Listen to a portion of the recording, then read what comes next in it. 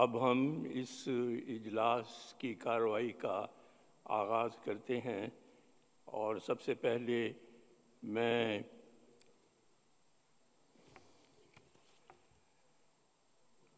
معید حامد صاحب کو دعوت دیتا ہوں تلاوت قرآن کریم کے لیے۔ السلام علیکم ورحمۃ اللہ وبرکاتہ۔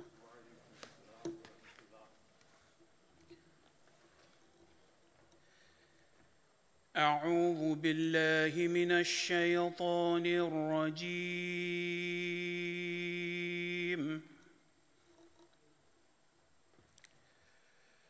بسم الله الرحمن الرحيم.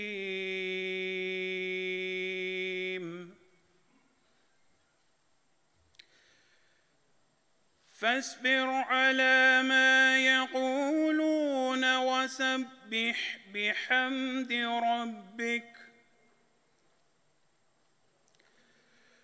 وسبح بحمد ربك قبل طلوع الشمس وقبل غروبها.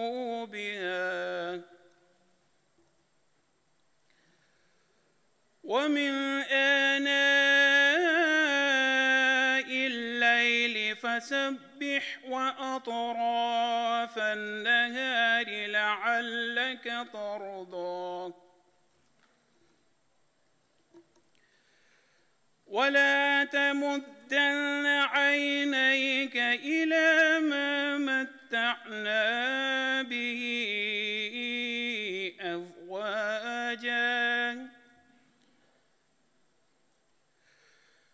ما متعنا به أزواجا منهم زحرة الحياة الدنيا لنفتنهم فيه.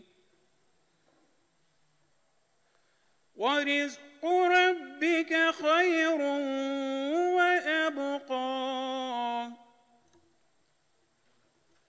وأمر أهلك بالصلاة واصطبر عليها لا نسألك رزقا. نحن نرزقك والعاقبة للتقوى. وقالوا لولا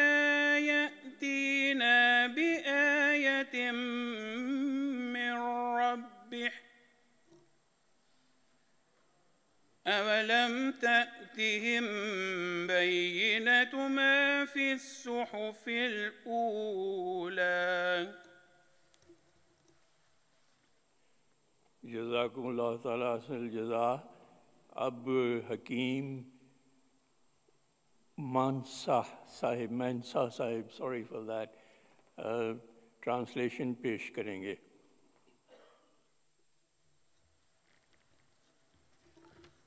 The verses just recited are from Holy Quran, chapter 20, verses 131 to 134, Surah Al Taha. In the name of Allah, the gracious, the merciful. Bear patiently, then, what they say, and glorify thy Lord with his praise before the rising of the sun and before its setting and glorify him in the hours of the night and all parts of the day, that thou mayest find true happiness. And strain not thy eyes after what we have bestowed on some classes of them, of the splendor of the present world, that we may try them thereby. And the provision of thy Lord is better and more lasting and enjoin prayer on thy people, and be constant therein. We ask thee not for provision, it is we who provide for thee. And the good end is for those who guard against evil. And they say, Why does he not bring us a sign from his Lord? Has there not come to them clear evidence of what is contained in the former books? جزاکم اللہ تعالیٰ سے جزا۔ اب مکرم محمد آصف چغتائی صاحب نظم پیش کریں گے۔ السلام علیکم ورحمۃ اللہ۔ حضرت اقدس مسیح معود علیہ السلاۃ والسلام کا پاکیزہ مضمون کلام۔ جمالو حسن قرآن نور جانے، ہر مسلمان ہے جمال و حسن قرآن نور جانے، ہر مسلمان ہے کمر ہے چاند اوروں کا ہمارا چاند قرآن ہے کمر ہے چاند اوروں کا ہمارا چاند قرآن نظیر اس کی نہیں، جمتی نظر میں فکر کر دیکھا۔ نظیر اس کی نہیں، جمتی نظر میں فکر کر دیکھا۔ بلا کیوں کرنا ہو یکتا کلام پاک رحمہ ہے۔ بہاریں جاویدہ پیدا ہے اس کی ہر عبارت میں۔ بہاریں جاویدہ پیدا ہے اس کی ہر عبارت میں۔ نہ وہ خوبی چمن میں ہے، نہ اس سا کوئی بستان ہے۔ کلام پاک یزدا کا کوئی ثانی نہیں ہرگز۔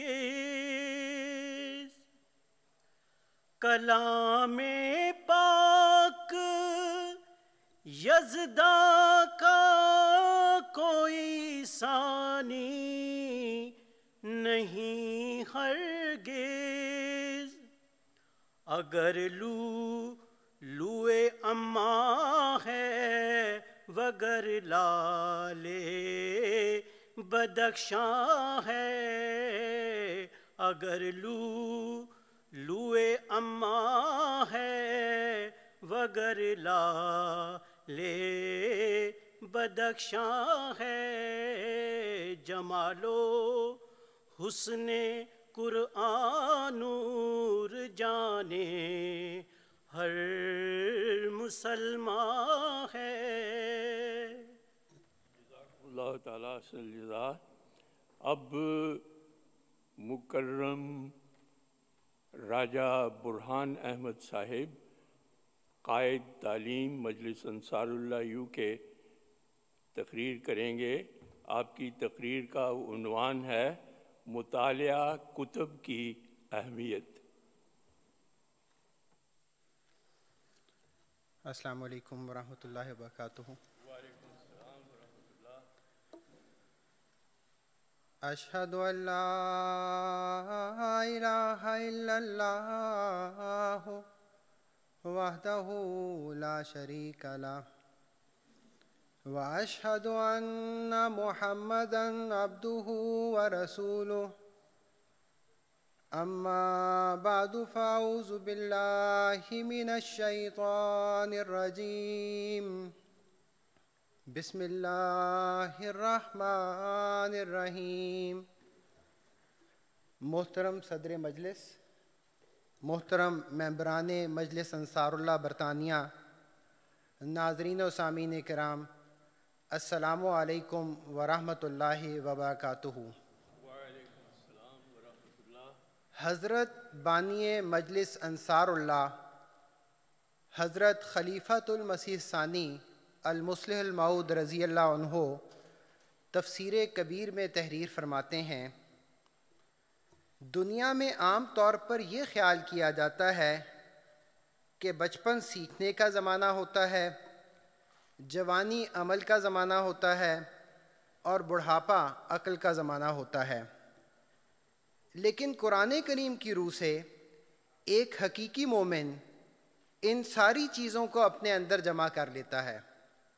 اس کا بڑھاپا، اسے قوت عمل اور علم کی تحصیل سے محروم نہیں کرتا۔ اس کی جوانی اس کی سوچ کو ناکارہ نہیں کر دیتی، بلکہ جس طرح بچپن میں جب وہ ذرا بھی بولنے کے قابل ہوتا ہے، ہر بات کو سن کر اس پر فوراً جرح شروع کر دیتا ہے اور پوچھتا ہے، فلاں بات کیوں ہے؟ اور کس لیے ہے؟ اور اس میں علم سیکھنے کی خواہش انتہا درجے کی موجود ہوتی ہے۔ اسی طرح اس کا بڑھاپا بھی علوم سیکھنے میں لگا رہتا ہے اور وہ کبھی بھی اپنے آپ کو علم کی تحصیل سے مستغنی نہیں سمجھتا۔ اس کی موٹی مثال ہمیں رسول کریم صلی اللہ علیہ وسلم کی مقدس ذات میں ملتی ہے۔ آپ کو پچپن چھپن سال کی عمر میں اللہ تعالیٰ الہامن فرماتا ہے کہ قر رب زدنی علما یعنی اے محمد، رسول اللہ صلی اللہ علیہ وسلم، تیرے ساتھ ہمارا سلوک ایسا ہی ہے جیسے ماں کا اپنے بچے کے ساتھ ہوتا ہے۔ اس لیے بڑی عمر میں جہاں دوسرے لوگ بیکار ہو جاتے ہیں اور زائد علوم اور معارف حاصل کرنے کی خواہش ان کے دلوں سے مٹ جاتی ہے اور ان کو یہ کہنے کی عادت ہو جاتی ہے کہ ایسا ہوا ہی کرتا ہے۔ تجھے ہماری ہدایت یہ ہے کہ ہمیشہ خدا تعالیٰ سے دعا کرتا رہے کہ خدایا میرا علم اور بڑھا، میرا علم اور بڑھا۔ پس مومن اپنی زندگی کے کسی مرحلے میں بھی علم سیکھنے سے غافل نہیں ہوتا، بلکہ اس میں ایک لذت اور سرور محسوس کرتا ہے۔ اس کے مقابل پر جب انسان پر ایسا دور آ جاتا ہے، جب وہ سمجھتا ہے، میں نے جو سیکھنا تھا سیکھ لیا ہے۔ اگر میں کسی امر کے متعلق سوال کروں گا تو لوگ کہیں گے، کیسا جاہل ہے، اسے ابھی تک فلاں بات کا بھی علم نہیں ہوا۔ تو وہ علم حاصل کرنے سے محروم ہو جاتا ہے۔ دیکھ لو، حضرت ابراہیم علیہ السلام بڑی عمر کے آدمی تھے، مگر پھر بھی کہتے ہیں، ربی ارینی کئی فتح الموتا جب حضرت ابراہیم علیہ السلاۃ والسلام نے یہ سوال کیا، تو اللہ تعالیٰ نے یہ نہیں کہا کہ ابراہیم، تو تو پچاس ساٹھ سال کا ہو چکا ہے اور اب بچوں کی سی باتیں چھوڑ دے، بلکہ اللہ تعالیٰ نے اسے بتایا کہ ارواح کس طرح زندہ ہوا کرتی ہیں۔ پس ہر عمر میں علم سیکھنے کی تڑپ اپنے اندر پیدا کرنی چاہیے اور ہمیشہ اللہ تعالیٰ سے یہ دعا کرتے رہنا چاہیے کہ الہی، میرا علم بڑھا۔ کیونکہ جب تک انسانی قلب میں علوم حاصل کرنے کی ہر وقت پیاس نہ ہو، اس وقت تک وہ کبھی ترقی نہیں کر سکتا۔ قرآن وہی کا آغاز جن الفاظ سے ہوا، وہ ہمیں اس بات کی اہمیت کی طرف توجہ دلاتے ہیں کہ مطالعہ کی کیا اہمیت ہے اور اسے کس حد تک جاری رکھنا چاہیے۔ ایک قرآن بسم ربک اللہ خلق، پڑھ اپنے رب کے نام کے ساتھ جس نے پیدا کیا۔ حضرت خلیفۃ المسیح ثالث رحمہ اللہ فرماتے ہیں اقرا کے معنی عربی زبان میں دو ہیں۔ ایک لکھی ہوئی تحریر کا پڑھنا اور پھر فرماتے ہیں اقرا کے تفسیری معنی ہیں کتاب پڑھ کے علم کو حاصل کرو۔ اور سب سے بہتر کتاب اور سب سے مفید کتاب، سب سے زیادہ ترقیات کی طرف لے جانے والی کتاب قرآن کریم ہے۔ حضرت خلیفۃ المسیح الخامس ایدہ اللہ تعالیٰ بن سعزیز اپنے خطبہ جمعہ میں فرماتے ہیں، ایک حدیث میں آتا ہے کہ اطلب العلم من المہدی اللہ یعنی چھوٹی عمر سے لے کر، بچپنے سے لے کر آخری عمر تک جب تک قبر میں پہنچ جائے، انسان علم حاصل کرتا رہے۔ تو یہ اہمیت ہے اسلام میں علم کی۔ یہاں میرے سننے والے اور خاص طور پہ اس مغربی معاشرے میں پڑوان چرنے والے لوگوں کے ذہن میں سوال آ سکتا ہے کہ ٹھیک ہے، قرآن کریم کی بات ہو گئی، احادیث کی بات ہو گئی ان سب باتوں پر ہمیں ایمان ہے۔ لیکن یہ بھی تو پتہ چلے کہ سائنس کے نقطہ نگاہ سے، طبی نقطہ نگاہ سے مطالعہ کی کوئی اہمیت ہے بھی کہ نہیں۔ چنانچہ اس پہلو سے جب خاکسار نے مختلف تحقیقات کا جائزہ لیا تو ان سے خلاصہ کچھ یوں نکلا۔ میڈیکل سائنس کی روح سے مطالعہ کتب کے یہ فوائد ہیں۔ مطالعہ کرنے کی عادت سے آپ کی یادداشت اور فوکس یعنی ایک جگہ اپنی توجہ کو مرکوز رکھنے کی صلاحیت بڑھتی ہے۔ مطالعہ کرنے کی عادت آپ کے خیالات اور تخیل کو بہتر بناتی ہے۔ کتاب کا مطالعہ آپ کے علم اور دانائی میں نمایاں اضافہ کرتا ہے۔ آج کل کی ایک عام بیماری جسے سٹریس کہتے ہیں، اس پر قابو پانے کا ایک آزمودہ نسخہ عمدہ کتب کا مطالعہ ہے۔ مطالعہ آپ کے دماغ کو توانا رکھتا ہے یعنی گویا ایک تو جسم کی ورزش ہوتی ہے، اگر انسان نے دماغ کی ورزش کرنی ہو تو وہ مطالعہ کتب ہے۔ عمدہ مطالعے کی عادت آپ کو زیادہ ہمدرد اور اخلاقی طور پر بہتر انسان بناتی ہے۔ مطالعہ کرنے سے آپ کے ذخیرہ الفاظ یعنی وکیبلری میں اضافہ ہوتا ہے۔ مطالعہ میں اپنے آپ کو باقاعدہ مصروف رکھنے والے خاص طور پر بڑی عمر کے افراد اپنے علمی کام زیادہ عرصہ تک کرتے رہتے ہیں اور مختلف ذہنی بیماریوں سے قدرتی طور پر محفوظ رہتے ہیں۔ مختلف طبی ماہرین کے مطابق سونے سے پہلے باقاعدہ مطالعہ، لیکن یہ مطالعہ ٹیبلٹ، موبائل یا لیپ ٹاپ پہ نہیں، بلکہ پرنٹڈ بک کا مطالعہ پرسکون نیند میں ممد و معاون ثابت ہوتا ہے۔ اور ایک تحقیق کے مطابق وہ لوگ جو مطالعہ کرتے ہیں، ان کی عمر ان لوگوں سے زیادہ ہوتی ہے جو مطالعہ نہیں کرتے۔ ہم نے قرآن کریم کی بات بھی دیکھی، احادیث کی بات بھی دیکھی اور سائنس کی بات بھی دیکھی۔ لیکن ایک سوال ابھی باقی ہے اور وہ سوال یہ ہے کہ کن کتب کا مطالعہ کیا جائے۔ اس پر مجھے ایک انگریز فلاسفر کا وہ مشہور فکرہ یاد آ گیا جو سر فرانسس بیکن کہتے ہیں۔ Some books are to be tasted others to be swallowed and some few to be chewed and digested یعنی کچھ کتابیں صرف چکھنے کے لیے ہوتی ہیں، دیگر نگلنے کے لیے ہوتی ہیں، اور چند کتب ایسی ہوتی ہیں جو اچھی طرح چبا چبا کر ہضم کرنی چاہیے۔ مجھے نہیں پتا کہ فرانسس بیکن کا کیا مطلب تھا۔ اس کے بارے میں بے شمار مضامین لکھے گئے۔ لوگوں نے اپنے ذوق و شوق کے مطابق باتیں کی ہیں، لیکن یہاں سے ایک بات ضرور پتہ لگتی ہے کہ واقعی کچھ کتابیں ایسی ہوتی ہیں جن کو حفظ کرنا چاہیے اور اس کی مثال قرآن کریم ہے۔ کچھ کتابیں ایسی ہوتی ہیں جن کو بار بار پڑھنا چاہیے اور ان کے فکرات در فکرات کو زبانی یاد کر لینا چاہیے۔ ایسی کتب میں یقیناً کتب احادیث اور حضرت امام الزمان حضرت اقدس مسیح معود علیہ السلاۃ والسلام کی کتب ہیں۔ اس میں بھی کوئی شبہ نہیں کہ دیگر علوم کی کتب کو بھی پڑھنا چاہیے۔ ان میں جہاں کہیں حکمت کی باتیں ملیں، مومن کی گمشدہ میراث کی طرح ضرور اخذ کرنی چاہیے۔ ابھی اس سوال کا جواب جاری ہے کہ ہم نے کون سی کتب پڑھنی ہے حضرت اقدس مسیح معود علیہ السلاۃ والسلام فرماتے ہیں، میں تو ایک حرف بھی نہیں لکھ سکتا۔ اگر خدا تعالیٰ کی طاقت میرے ساتھ نہ ہو۔ بارہا لکھتے لکھتے دیکھا ہے، ایک خدا کی روح ہے جو تیر رہی ہے۔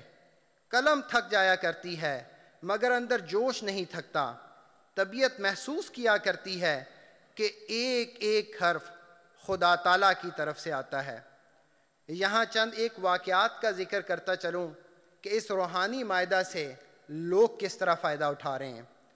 حضور انور ایدہ اللہ تعالیٰ بن عزیز اپنے خطبہ جمعہ میں ایک واقعے کا ذکر کرتے ہوئے فرماتے ہیں، ایک دوست جو غالباً یونان کے رہنے والے تھے، انہوں نے بتایا کہ ایک احمدی دوست نے انہیں اسلامی اصول کی فلاسفی پڑھنے کو دی، جس کو پڑھنے کے بعد اسلام کی مکمل تصویر اور تعلیم جو ہر چیز کا احاطہ کیے ہوئے تھی، وہ میرے سامنے آ گئی اور بڑے جذباتی انداز میں کہنے لگے کہ آج آپ سے ملاقات کے بعد میں نے احمدی ہونے کا فیصلہ کر لیا ہے۔ ان صاحب نے پوچھا بیت ابھی کریں گے یا بعد میں؟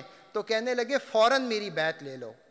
اسی طرح فلسطین کی ہماری ایک خاتون، وہ کہتی ہیں، جماعت سے میرا تعارف میرے دیور کے ذریعے ہوا۔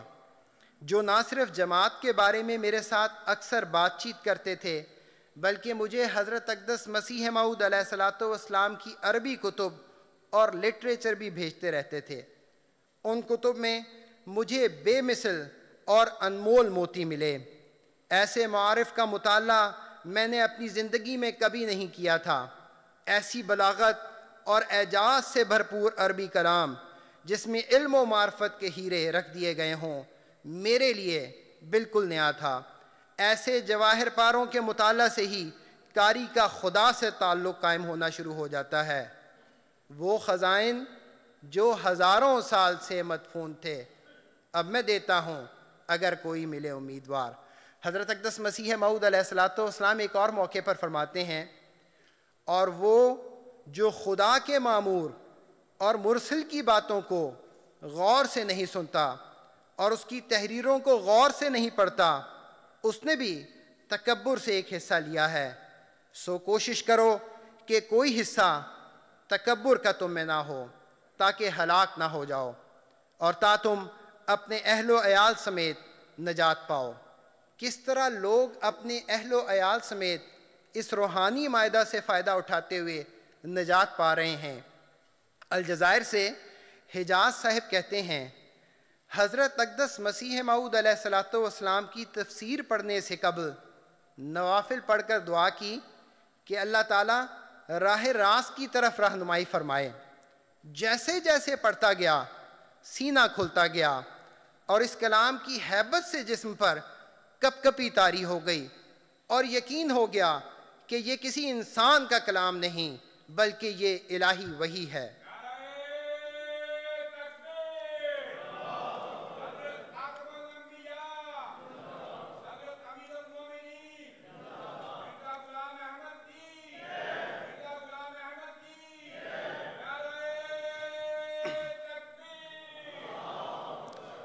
عباس صاحب اٹلی سے کہتے ہیں، ایک دن میں الہوار دیکھ رہا تھا کہ اس میں وقفے کے دوران حضرت مسیح معود علیہ السلاۃ والسلام کا یہ عربی قصیدہ آ گیا۔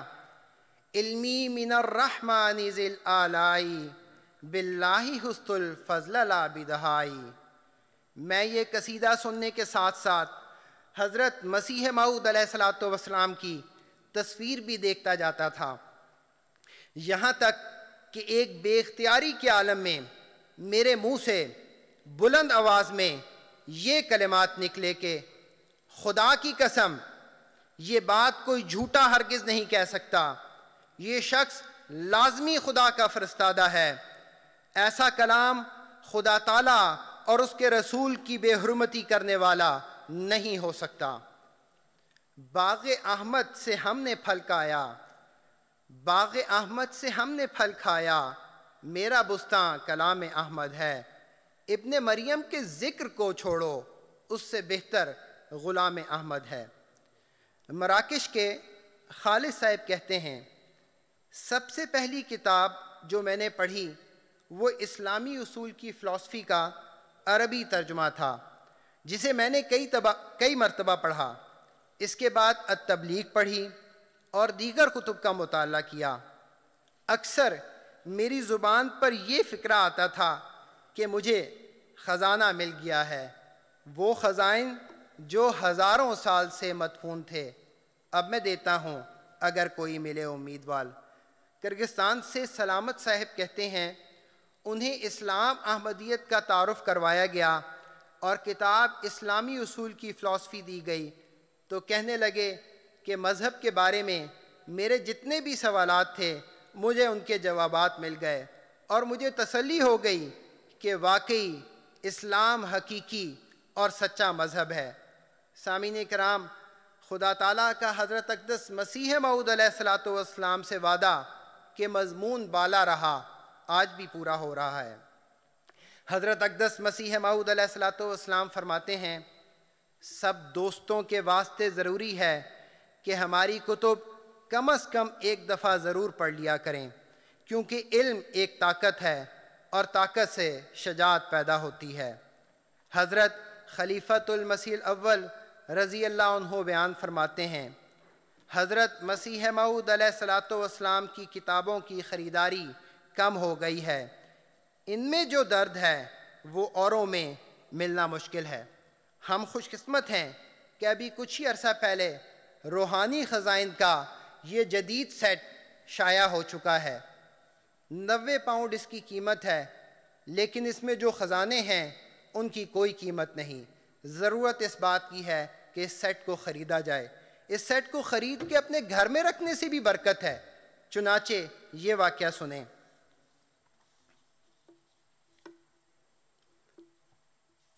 بوبو جلاسو، بورکینا فاسو کے ایک شخص نے بتایا کہ انیس سو اکسٹھ سے میرے پاس لٹریچر تھا۔ اس رمضان میں ریڈیو اسلامک احمدیہ پر قرآن کریم کی تفسیر سنی۔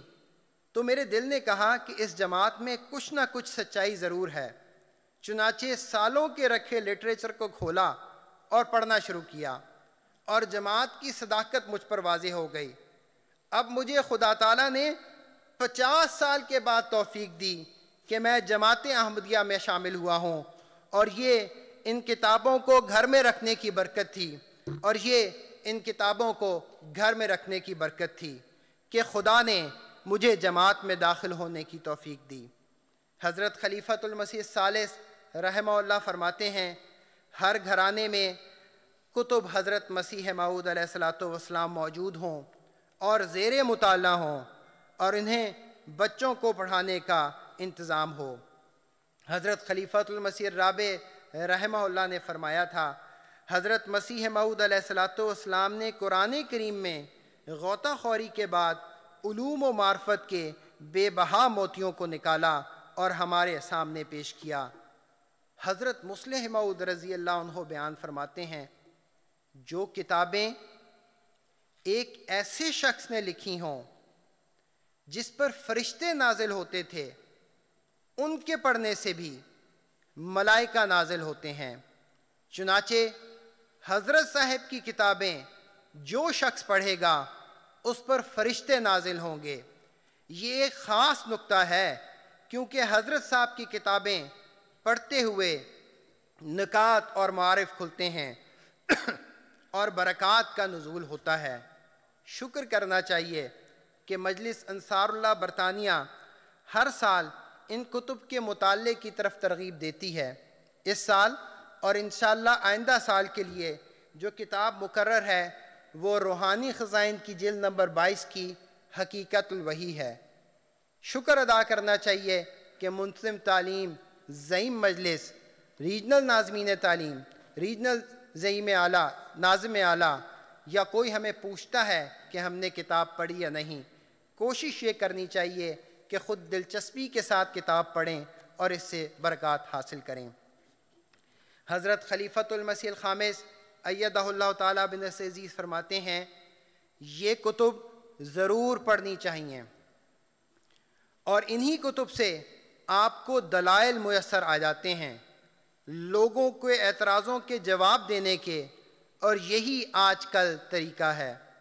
آپ کی مجلسوں سے فیضیاب ہونے کا آپ کی صحبت سے فائدہ اٹھانے کا کہ پہلے بھی میں کہتا رہا ہوں کہ آپ کی کتب پڑھنے کی طرف زیادہ سے زیادہ توجہ دی جائے اور اس سے ہمیں مخالفین کے اعتراضوں کے جواب بھی ملیں گے اور قرآن کریم کے علوم کی بھی معرفت ہمیں حاصل ہوگی۔ مزید فرمایا، آج یہ ذمہ داری ہم احمدیوں پر سب سے زیادہ ہے کہ علم کے حصول کی خاطر زیادہ سے زیادہ محنت کریں۔ اور زیادہ سے زیادہ کوشش کریں۔ عورتوں کو بھی اور مردوں کو بھی اکٹھے ہو کر کوشش کرنی ہوگی۔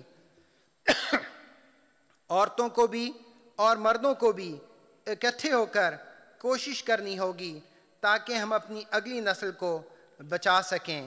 اللہ تعالی ہمیں صحیح طور پر دین کا علم پیدا کرنے اور اگلی نسلوں میں قائم کرنے کی توفیق عطا فرمائے۔ آمین۔ یا رب العالمین رب زدنی علما رب زدنی علما رب زدنی علما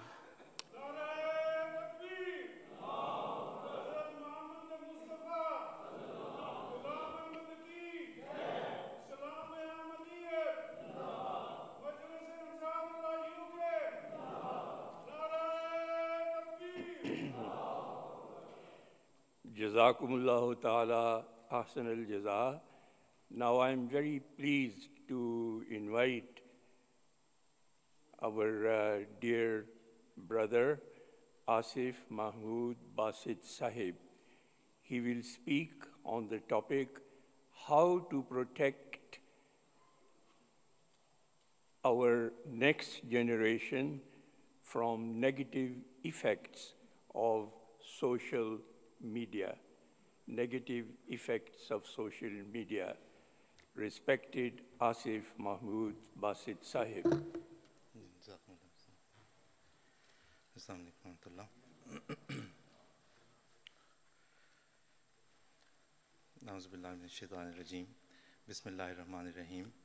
Um, as you have heard, the topic that I'll be speaking on uh, is uh, how to protect our future generations from the bad effects of social media. I am um, in no way in a position to be advising very able people like you on anything. So what I'll say here is only going to be my, you know, some thoughts that obviously I experienced being a member of Ansarullah. Uh, and, and just share them with you. And um, it's, it's, it's in no way going to be any kind of advice.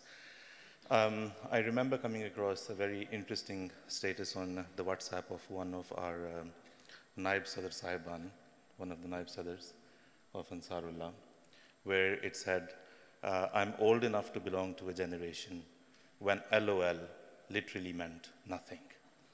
So the first point, I think, when it comes to thinking about protecting our future generations is to accept the fact that we are from a different generation. And our children belong to a very different generation because over the past two decades, how things have progressed, they didn't progress at the same pace between the generation of, say, the, you know, my parents and my own generation. So it's been a very, very fast-paced um, drift from what we knew uh, as um, you know, communication or what we knew as life. So it's completely changed.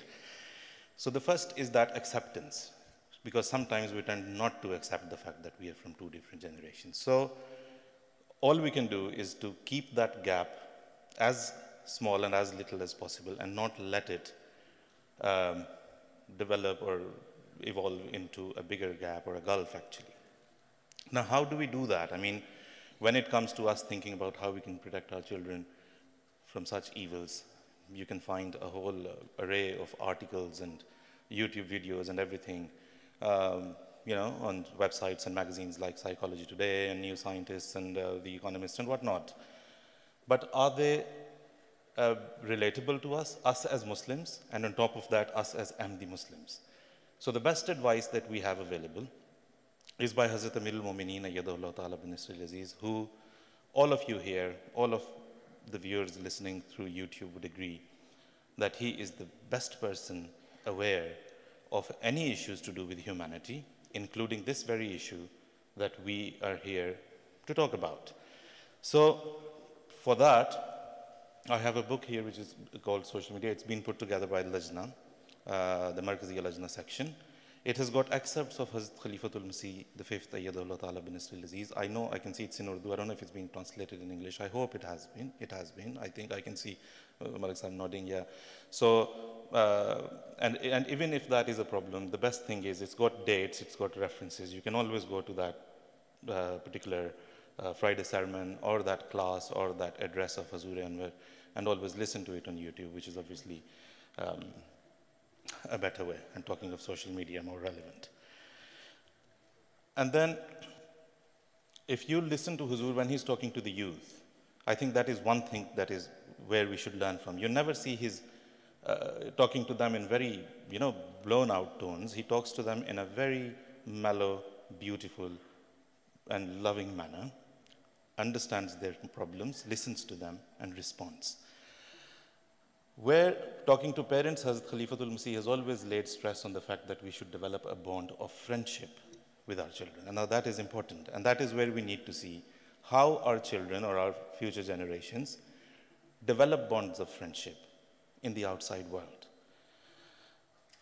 Is it, I mean, because you know, when they're growing, you, there comes a time when you see that they develop an interest outside, they have friends at school, they have friends at college, they have friends outside where they feel more comfortable discussing their issues than they feel talking to their parents. So, where does that uh, split come, and where does that issue actually come where they start to develop bonds of friendship outside the household? And what is that based on? That is definitely based on, that bond of friendship is definitely based on the fact that they have common interests with those boys or girls in their school and college where they can where they share the same issues, where they share the same problems, and they have common interests. Hence, the development of that bond. So, if they realize that there is absolutely nothing that they can count as a common ground between them and us, it is always going to be a problem to develop a bond of friendship with them. So, for that, what do we do? You see your children, we see our children either with their friends, talking to them, maybe, you know, at school, at college, or through their mobile phones and their tablets and their laptops, where they are spending quite a lot of time on social media, socializing and communicating. We feel left out as parents or as grandparents even. So how do we do that? Where, can they, where is it that things went wrong and how can we actually make them connect to us? So First of all, you see, we see that they are, we need to have, when we say friendship, we need to develop an element of trust. I remember reading about Hazrat Ammajan Razila Anhu, I think it was written by one of the children of Hazrat Ammajan, that the way Hazrat Ammajan did their tarbiyat was uh, through trust. So they said we would always think before doing anything that Hazrat Ammajan trusts us a lot and if we were to do this, we will be breaching the trust of Hazrat Ammajan. And that one element that Hazrat Ammajan had inculcated trust in them and inculcated the feeling that Ammajan trusts them always kept them away from doing anything bad and anything wrong. Now, how does that trust develop? If, say, for example, I hear about parents, and I mean, I talk as a parent as well myself, I hear parents being concerned and saying, well, we keep a very strict eye on our children. We go through their texts, we go through their call logs and everything. I think we need to think, is that ever going to develop a bond of trust? Can that lead to trust? It isn't going to lead to trust, per se. But obviously, yes, we need to keep an eye, we need to be vigilant, we need to see what's going on out of the concern that we have for our children. So there are different ways we can do that. For example, you knowing the passcodes of your children's phone, them knowing your passcode because that trust is going to be mutual. If you want to go through your their, your, their phones, do you, are you comfortable with the fact that they too can go through your own phone? So until and unless th that element is there, where they know that the phones are accessible, should it be enough to develop that element of trust. Because say if we were going to scroll through their texts and other social media activity, we must remember that they would know a lot better than we do how to delete text messages forever, never to be traced back again, and how to delete any social media activity. So it's best not to push them to do that and keep that trust alive between ourselves and our future generations, our younger generations, and enabling us to understand them better and them to understand us in a better way. So um, another obviously way of doing that, I mean, we um, usually tend to tell our children, you see, in our times, we didn't have these apps and we lived a perfectly normal life and a perfectly good life. Such things, while they can have a good effect, can most of the times potentially also have a very harmful effect, which actually makes them think of you as a person from another generation who does not understand the type of world that they're living in and the type of issues that surround them. So things have changed. I mean, my grandfather didn't own a car, and I think he lived a better life than I do. But then, I mean, would that argument convince me to just give up my car and stop driving it? Of course, it wouldn't. Things have changed, times have changed, and we'll have to see that. So, such statements can also push them away. So, it's, it's a matter of understanding rather than saying, and rather than just rejecting and canceling the whole concept of social media. It's about understanding social media. There's nothing wrong with it. I mean, social media itself is not something evil or bad. Because if it was, many of us wouldn't be sending these um, videos that we exchange with our friends, especially, you know, in uh, the, the, age group that uh, we belong to, I belong to, where, you know, we've got videos from ARY News and Hum TV and Tum TV going around. We're using social media as well. So social media per se is not bad as such. It's the usage that makes it good or bad. So there's no harm in understanding something which is slightly more than WhatsApp. So if you're, we know that our children use Snapchat and Instagram and, and, and other apps and other social media platforms. So what is the harm in understanding, sitting them down with you and asking them, how does this work? Why is this so, so special? What have you been doing? And sharing their interest and enjoying it and showing your appreciation for what they've been doing, for anything good that they've done. So there is absolutely no harm in getting to know how social media works. We all learn in different ages. The excuse of saying, no, now I'm at an age that I don't think I'm able to learn anymore, I don't think it's valid because majority of us who migrated to this country, myself included, I wasn't born here, we came here, we learned, I mean, most of us didn't know how to drive. I didn't.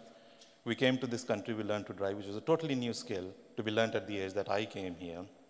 But we did it because it was out of need. Um, and then again, you know, people migrating from Pakistan to here, to, to this country, and, and to the West, um, we, we, we, had to take um, citizenship exams, and we prepared for that. So there was no excuse. We relied on no excuses because we wanted to do that. We wanted to achieve that out of need and necessity. So I'm sure that our children's future is much important than a driving license or even our citizenship in any country of the West where we live. So that being more important, there is, it's never too late. We're never too old. We should always try to acquaint ourselves with what social media actually is and then try and get closer to our children, let them trust us.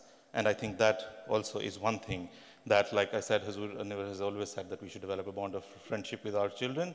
I think these are the things that lead to the type of friendship that our children in this generation might cherish more than um, us telling them uh, some other stories which they might not be able to relate to. So, again, coming back to relevance, I mean, the whole idea is that when you talk to your children or any children or any, any, any member or, or any group of youth, they want to actually see, naturally, that's human psychology, they want to see that what you're saying is relatable. Can they relate to it or not? So, if you tell them things which are not relatable to them from a time which they cannot connect to, they will not accept it and they will reject it. They will see you. For example, stranger danger was something that was easier to explain to my generation by, my, by our parents because stranger, stranger danger was almost of the same intensity in our time, my generation's time, as it was in my parents' generation's time. It hadn't changed much. It was maybe a very rare occurrence, maybe once in a lifetime, if at all, where you would bump into a stranger who's meeting you with some malicious intentions. So now, to explain stranger danger to our children, who spend quite a big chunk of their time in the world of social media, in the cyber world, where the, the, the, the, probability of them bumping into a stranger is not once in a lifetime, but maybe, you know, once every day, if not an hour, if not the minute, if not every second. They are surrounded by strangers. So to speak to them about stranger danger, you will have to acquaint yourself to the world where that stranger danger actually exists. Because my concept of stranger danger would be different from, the, from, what, from how my children and your children would see that. So if we talk to them, don't talk to somebody if they try to engage with you.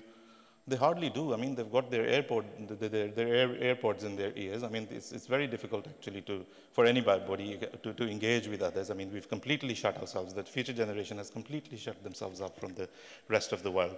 So it's, it's really difficult and it's really hard and it's really rare that somebody would actually physically try to approach them. Grooming does not go on in streets anymore. It goes on on the internet, in the world of social media. But like I said, not all of it is bad. We need to know what to do, and we need to teach our children how to handle it. And to do that, we will not be able to do that unless we have acquainted ourselves with it. So um, it, it, it's all about that. And uh, um, you know, the type of, the, the other important thing is, I mean, we also need to see what our social media activity is that our children see. What kind of stories do we share on WhatsApp, say, with them? If they're stories from certain channels which don't actually make sense at all, and silly jokes, and if they, if they see us doing that, they will definitely pick up the message that what is said to us is different, what is done by our parents and our elder generation is something else. That duplicity is the worst thing that can, we can give to our children. So it's not only about teaching and training our children, it's actually about teaching and training and taming our own selves into the way we would want to see our children. So I'll, uh, I'll conclude here uh, with, um, again, just to say that, like I said at the start, I'm in no position that I advise. All, I, all I've done is just to share um, the perils that I face of the internet every single day, every single night of my life as a father of three children who are in their youth.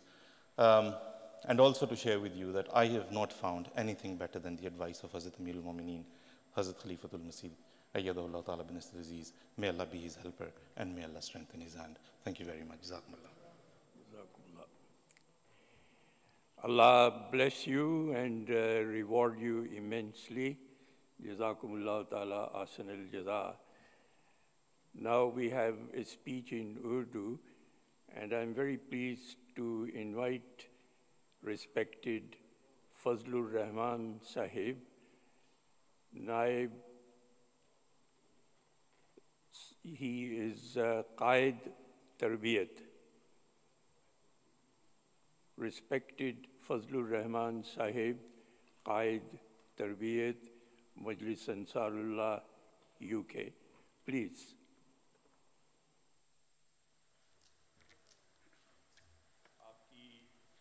تقریر کا عنوان ہے نظام وسیعت کی اہمیت۔ نظام وسیعت کی اہمیت۔ السلام علیکم ورحمۃ اللہ وبرکاتہ۔ اشہد اللہ الہ الا اللہ وحدہ لا شریک له واشہد ان محمدا عبدہ ورسولہ أما بعد فأعوذ بالله من الشيطان الرجيم. بسم الله الرحمن الرحيم. ایک زمانہ تھا جبکہ حضرت مسیح معود علیہ السلام نے تائید اسلام میں ایک کتاب براہین احمدیہ تحریر فرمائی۔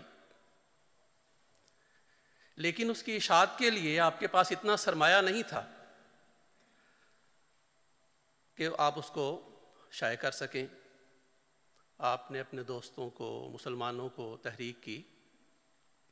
تو بہت ہی تھوڑی سی رقم بڑے بڑے روسا اور اپنے علاقوں کے بڑے بڑے عمرا نے بڑی معمولی رکوم حضور کی خدمت میں پیش کی، جس سے بعض لوگوں کو یہ دیکھ کر بڑی مایوسی ہوئی کہ جب مسلمانوں کی یہ حالت ہے تو پھر اتنی اہم اور اتنی قیمتی کتاب جس پر بے شمار خرچ آتا ہے اس زمانے کے حساب سے، اس کو شائع کرنے کا کیا فائدہ ہے؟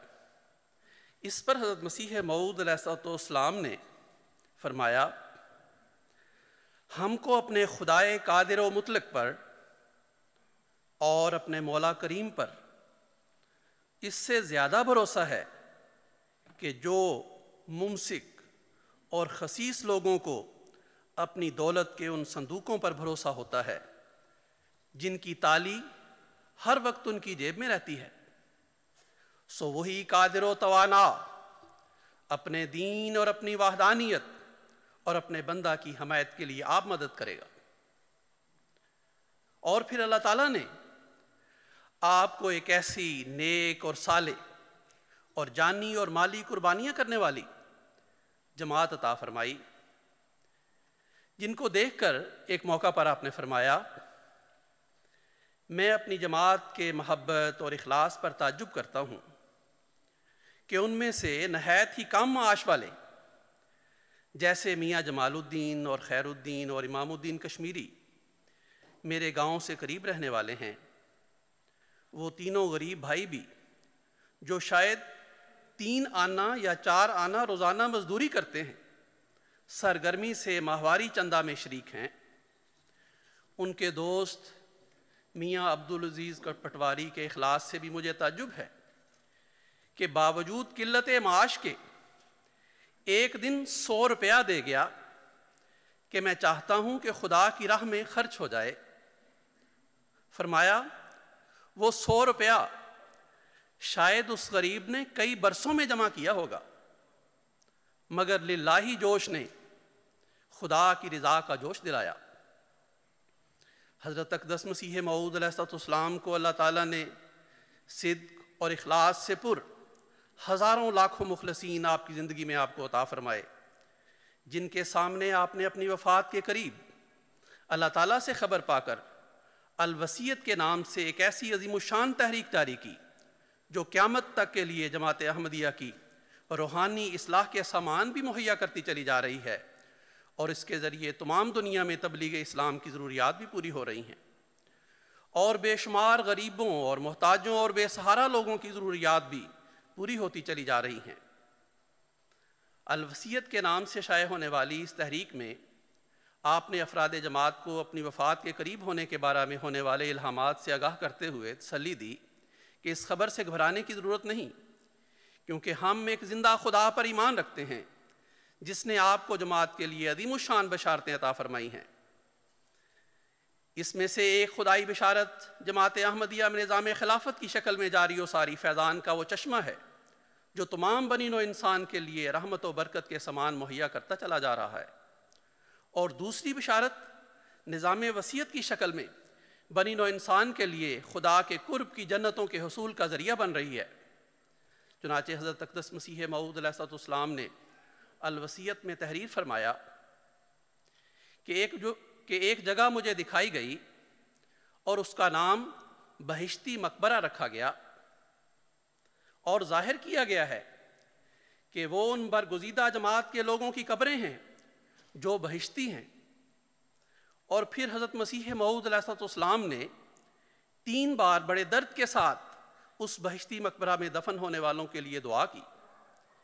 پہلی بار دعا کے الفاظ یہ ہیں، مایا میں دعا کرتا ہوں کہ خدا اس میں برکت دے اور اسی کو بہشتی مقبرہ بنا دے اور یہ اس اور یہ اس جماعت کے پاک دل لوگوں کی خوابگاہ ہو جنہوں نے در حقیقت دین کو دنیا پر مقدم کر لیا اور دنیا کی محبت چھوڑ دی اور خدا کے لیے ہو گئے اور پاک تبدیلی اپنے اندر پیدا کر لی اور رسول اللہ صلی اللہ علیہ وآلہ وسلم کے اصحاب کی طرح وفاداری اور صدق کا نمونہ دکھلایا۔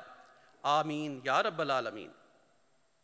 پھر آپ نے دوسری بار اس تحریک میں شامل ہونے والوں کے لیے یوں دعا کی، میں پھر دعا کرتا ہوں کہ اے میرے قادر خدا، اس زمین کو میری جماعت میں سے ان پاک دلوں کی قبریں بنا جو فی الواقعہ تیرے لیے ہو چکے اور دنیا کی اغراض کی ملونی ان کے کاروبار میں نہیں۔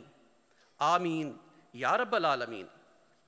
اور پھر تیسری بار، پھر حضور نے الوسیت کر، کے نظام میں شامل ہونے والوں کے لیے یوں دعا کی، میں پھر تیسری دفعہ دعا کرتا ہوں کہ اے میرے قادر خدا، اے خدائے غفور و رحیم، تو صرف ان لوگوں کو اس جگہ قبروں کی جگہ دے جو تیرے اس فرستادہ پر سچا ایمان رکھتے ہیں۔ اور کوئی نفاق اور غرض نفسانی اور بدزنی اپنے اندر نہیں رکھتے اور جیسا کہ حق ایمان اور اطاعت کا ہے بجا لاتے ہیں۔ اور تیرے لیے اور تیری راہ میں اپنے دلوں میں جان فدا کر چکے ہیں۔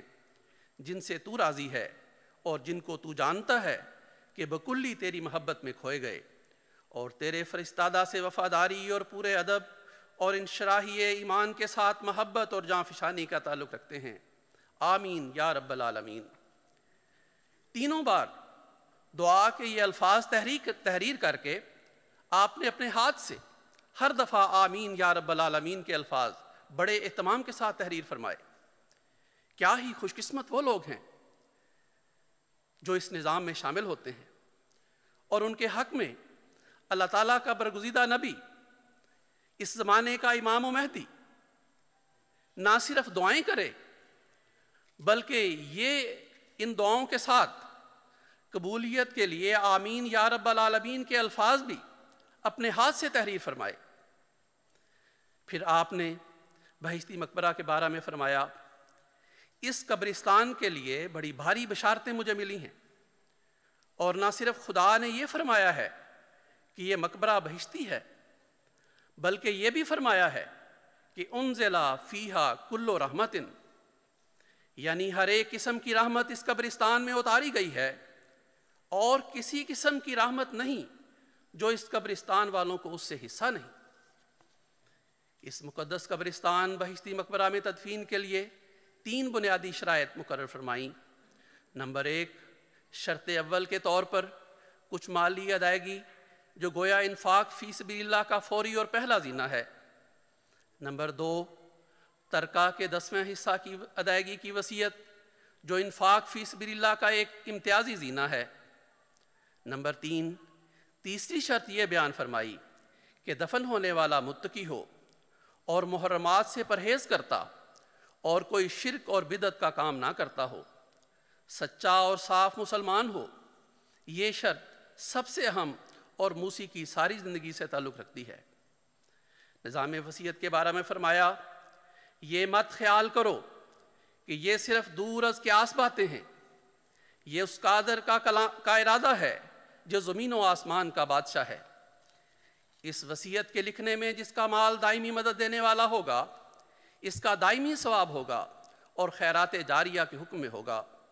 نظام وسیعت کے نتیجہ میں قائم ہونے والے بہشتی مقبرہ کے بارے میں فرمایا، خدا تعالیٰ کا ارادہ ہے کہ ایسے کامل الایمان ایک ہی جگہ دفن ہوں تا آئندہ کی نسلیں ایک ہی جگہ ان کو دیکھ کر اپنا ایمان تازہ کریں اور تا ان کے کارنامے جو خدا کے لیے انہوں نے دینی کام کیے، ہمیشہ کے لیے قوم پر ظاہر ہوں۔ اور پھر ایک دفعہ پھر آپ نے ان لوگوں کے لیے دعا کی جو اس نظام میں شامل ہوئے۔ فرمایا، بالآخر ہم دعا کرتے ہیں کہ خدا تعالیٰ اس کام میں ہر ایک مخلص کو مدد دے اور ایمانی جوش ان میں پیدا کرے اور ان کا خاتمہ بالخیر کرے۔ آمین۔ نیز فرمایا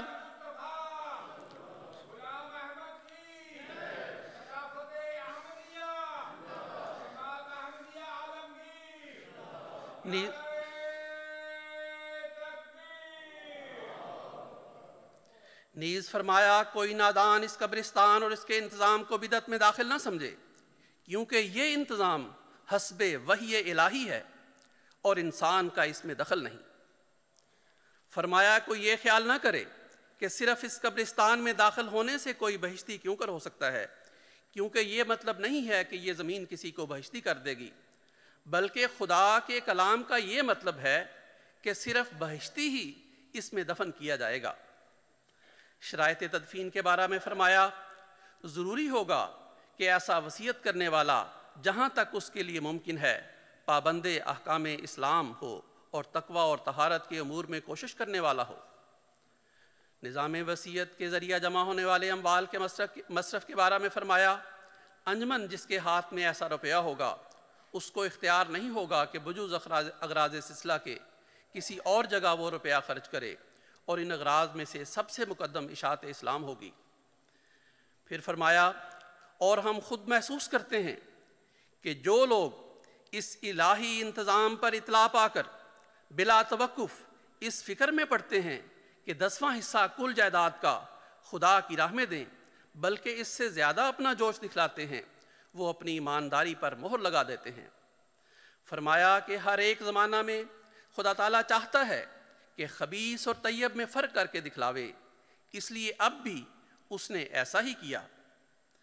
پھر فرمایا ہم خود محسوس کرتے ہیں کہ اس وقت کے، کہ اس وقت کے امتحان سے بھی اعلیٰ درجہ کے مخلص جنہوں نے در حقیقت دین کو دنیا پر مقدم کیا ہے، دوسرے لوگوں سے ممتاز ہو جائیں گے۔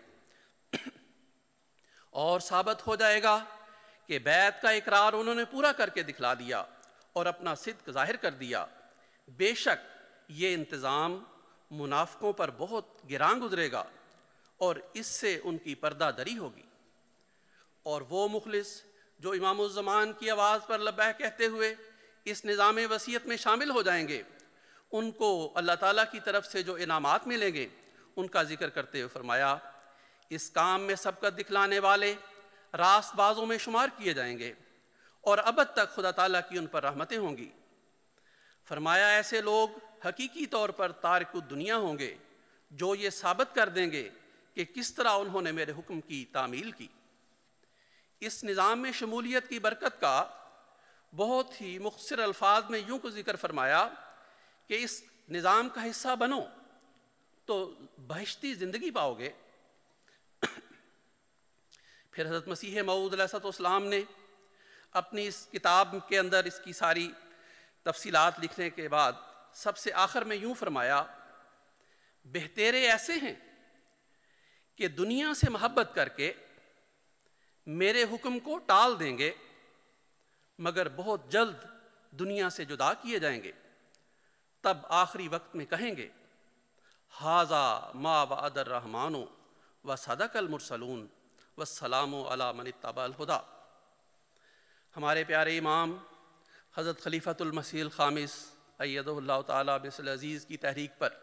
اب تو اللہ تعالیٰ کے فضل سے لاکھوں افراد اس نظام میں شامل ہو کر، دسواں حصہ، بلکہ اس سے بھی زیادہ خدا کی راہ میں ہر ماہ پیش کرتے ہیں، بلکہ اپنی ساری عمر کی جمع پونجی میں سے۔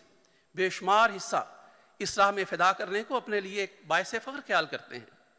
آپ نے ایک موقع پر فرمایا، بہت سارے لوگ لکھتے ہیں کہ ہم اس فکر میں تو ہیں کہ وصیت کر لیں، لیکن اپنے آپ کو اس قابل نہیں سمجھتے۔ فرمایا، یاد رکھیں کہ میں نے حضرت مسیح معود علیہ السلام کی جو دعائیں پڑھی ہیں یہ اس لیے پڑھ کر سنائی ہیں کہ جب نیک نیتی کے ساتھ اس نظام میں وابستہ ہوں گے، تو حضرت اقدس مسیح معود علیہ السلام کی دعاؤں کے توفیل آپ کو اپنے اندر پاک تبدیلیاں پیدا کرنے کی طرف توجہ ہوگی۔ پس آگے بڑھیں اور اس پاک نظام میں شامل ہونے کی کوشش کریں۔ خدا کے مسیح کی آواز پر لبیک کہیں اور ان حقوق کی ادائیگی کے معیار حاصل کرتے